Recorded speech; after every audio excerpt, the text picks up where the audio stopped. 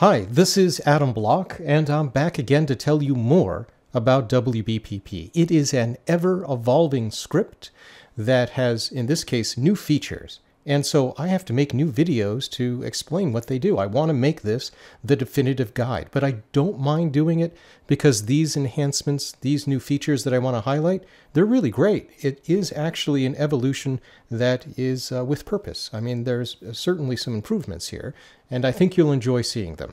So I'm going to very briefly highlight the major ones here. There is one element that I'm going to make a separate video on. I'll show you what it is here, but then please go watch that next video to see some of the details about um, all of its uh, possibilities.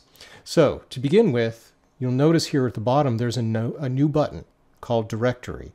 Now you already know how files works. You click on this and you can highlight any number of files and they can be different types of images and they'll be loaded properly into their, um, their proper groups. And those groups would, you know, they would live here in each of the panels or you would see them load as groups in the control panel. But now with the directory button, instead of highlighting a set of files, you can now just select a directory and all files in the directory and other directories under it recursively will be scanned and all of those files will be loaded. So it's yet an even faster way to load files if you do have that kind of organization. Now, if you have nested directories where there are files that are not associated with the ones that you want to load, then this button is too um, uh, it, it, does too much. It's going to go into the place that you don't want, so you won't be as specific as necessary, just use the Files button. But let me just show you a nice example. Here is some data that was given to me by a very kind gentleman, Joseph Drudis. This is data that I highlight in my workflow sections in fundamentals at adamblockstudios.com. This is a really great data set to illustrate the workflow of processing. And you'll see that he provided me all kinds of stuff. You've got calibration data, blue, red, green, luminance, hydrogen alpha, everything. All these files are in each of these directories. Now you won't see them listed right now because as the directory function, all I need to do is highlight the directory that I want to recursively um, scan, and it will go in and now open all of the files that are in each of those directories. So let's just do that. Takes it a moment because there are a lot of files. And here's the result. You'll, it'll tell you what it loaded, so you can actually see everything that it loaded, which is actually good. Um, though there are a couple of things that I make this a really good example. Number one, down here at the bottom, you'll see that uh, there it found 284 frames, but only 281 were added. So you might wonder, well, what, what is that about? And over here, I'm going to just exit really quickly. You can see there are some errors. And I want to point this out because this is not uncommon. That data that I grabbed from him was downloaded. And it very well could be that a few of the files are corrupted or there might be a problem with them. This is a big sign, a big uh, hint that there is a problem.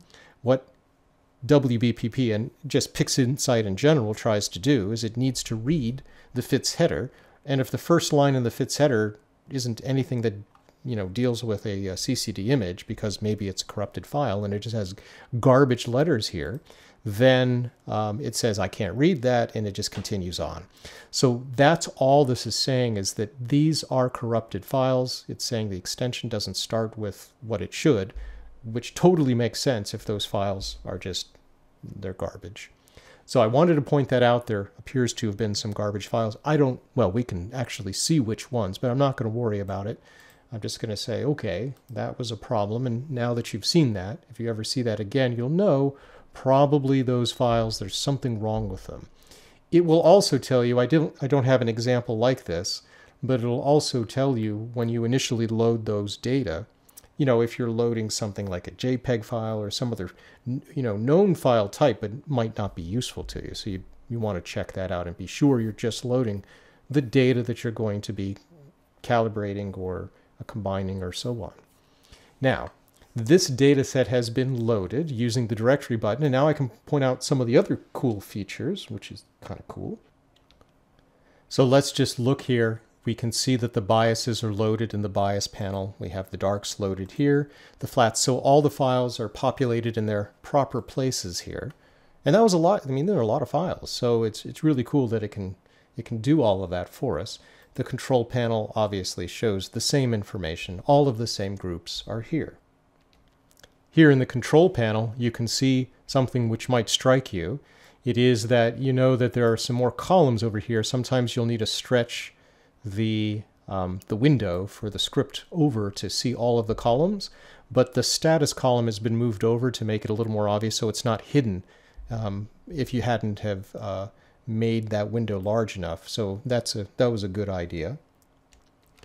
What I'm going to be showing in this next video or another video in this series is that there are now different ways to set up how to um, deal with the, the data when you have keywords.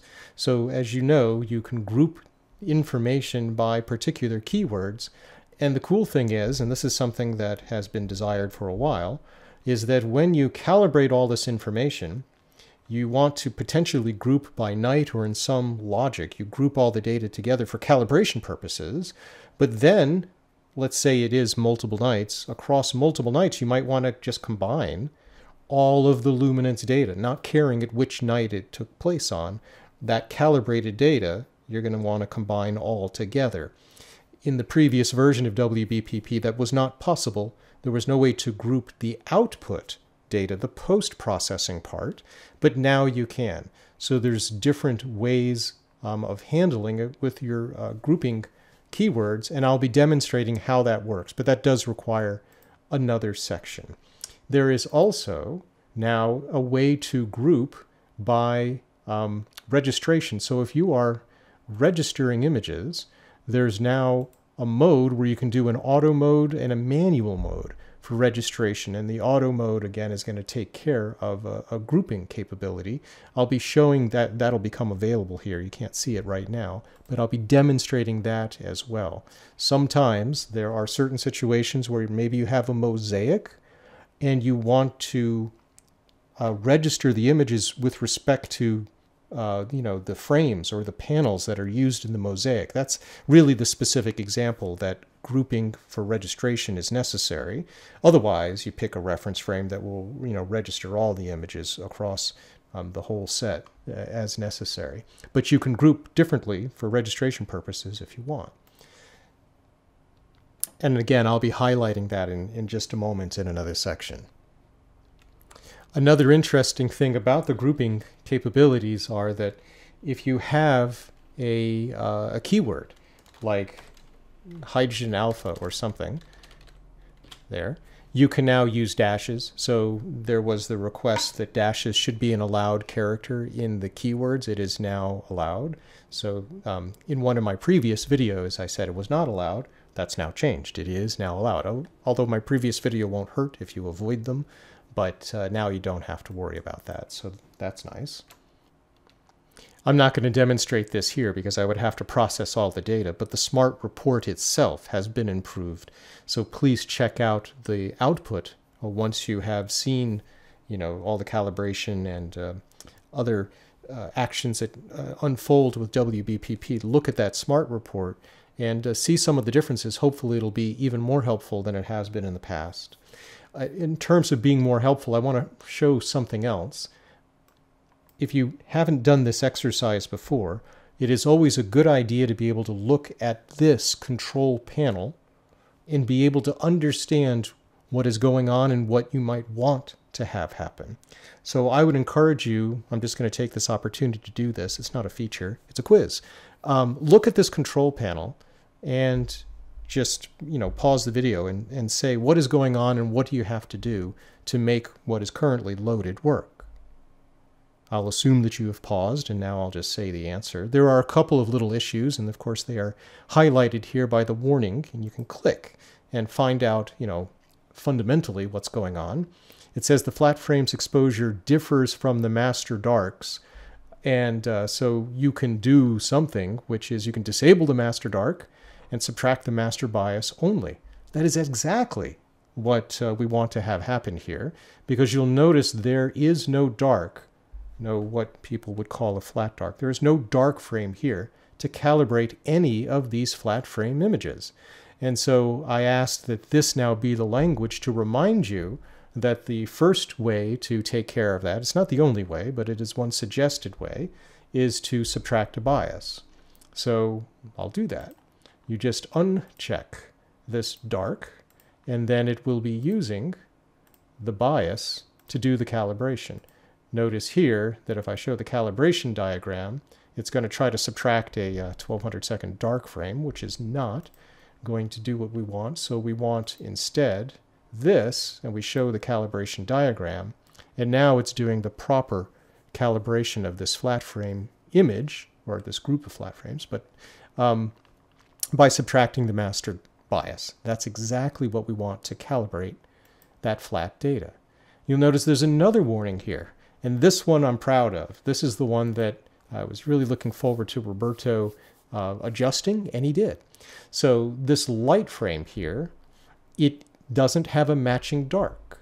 And so it does have a flat. You can see it's matching with this flat, but it doesn't have an exact matching dark. This is a 300 second exposure. The dark here is 1200 seconds. So what are you going to do?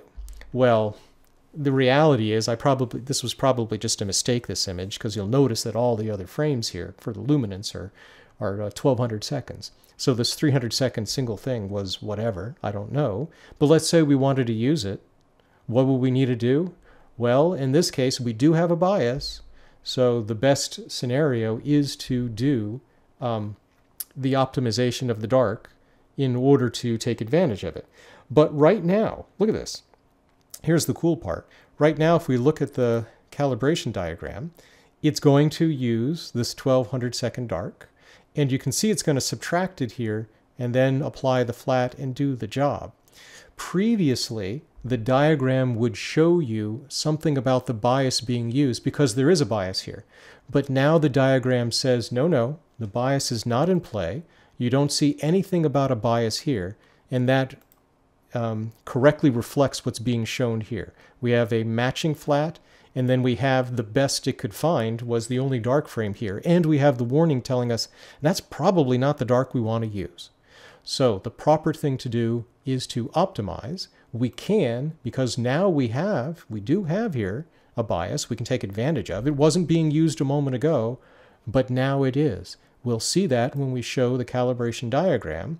Here you can now see that the master bias is being used to scale this dark by uh, what it'll discover is some k value, some scaling factor, and that's what is multiplied by the thermal frame. Please review my previous section about this in order to subtract the proper amount from the uh, light frame, and then of course the flat is applied, and then we have a calibrated light.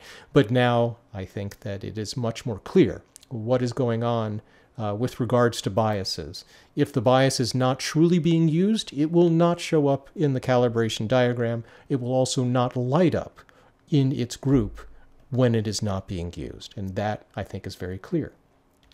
So that was a really brief overview of some of the features. They were small enough that uh, no real big explanation is required, though this part of the uh, the grouping, the custom grouping that we can do between the pre-processing and the post-processing um, modes of WBPP, that I'm going to uh, illustrate in another video. So I hope you enjoyed this quick update and enjoy the, the new enhanced stuff of WBPP.